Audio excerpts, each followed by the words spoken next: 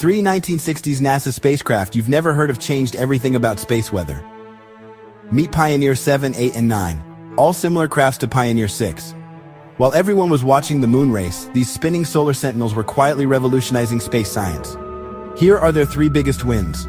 First, Pioneer 7 became the ultimate overachiever. Launched in 1966 for a simple solar monitoring mission, it kept working for 29 years. In 1986, it even got a bonus mission, flying within 7.5 million miles of Halley's Comet and studying how solar wind interacts with comet tails.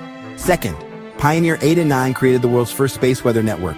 They could triangulate solar storms and give Earth early warnings about dangerous radiation heading our way. Third, Pioneer 9 recorded one of the most intense solar storms in history in 1972.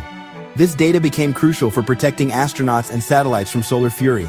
These quiet pioneers operated for decades, laying the groundwork for every space weather forecast we have today. Sometimes the most important missions are the ones nobody talks about. Stay curious and keep looking up.